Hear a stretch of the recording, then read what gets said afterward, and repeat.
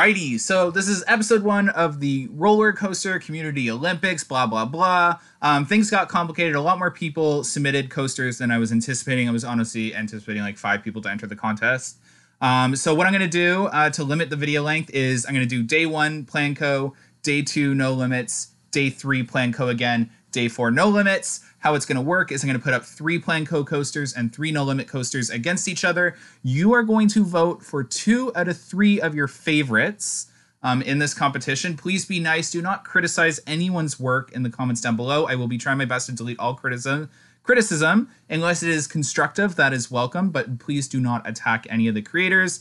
Um, I'm super thankful that they even wanted to enter in this contest. So, again, vote for two out of three of the roller coasters in this contest, and two will move forward against a third contender, and it'll continue until it starts to get limited down. Um, so comment down below one, two, or three um, in order that they appear in this video. So one being the Intamin Blitz, two being the dueling um, Mine Train coaster, and three being the launched wing coaster. So comment that down below. You can vote on two out of three of the coasters, and you can only vote once. We will be deleting duplicate votes. Um, and yeah, again, be respectful.